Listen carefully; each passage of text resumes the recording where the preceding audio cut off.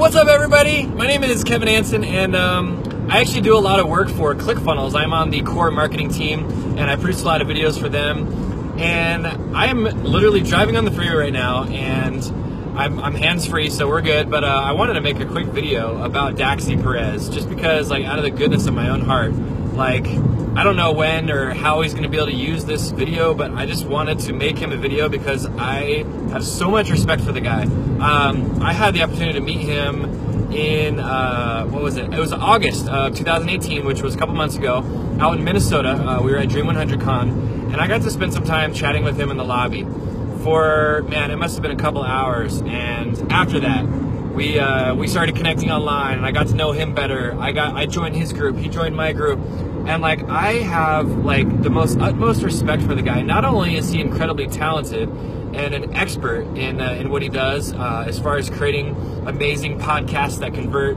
and um, just like he's an amazing online marketer, but he's also just an amazing human being. And I just wanted to make this video because I felt inspired to do it. I'm in my car, I'm on the freeway, and I just wanted to uh, to share that with the world because I absolutely love the guy to death. I can't say enough great things about him, and whatever I can do to help him out or to propel him forward, like I am 100% going to do it. Um, he's kind of done that for me.